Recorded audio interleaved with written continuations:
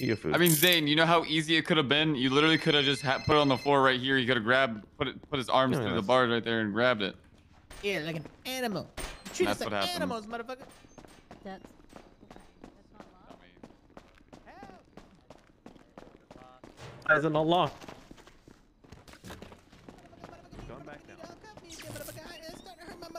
Hold You're not getting out. Circulation. Future, Oh, no, you're no! not- yeah, I'm beating you're his not getting ass. out, Wait, is gonna, wait, is gonna beat you. God damn it, Future. Why are you Yep. doing this? You're literally stuck. You're literally, you're, this is basically your jail cell now.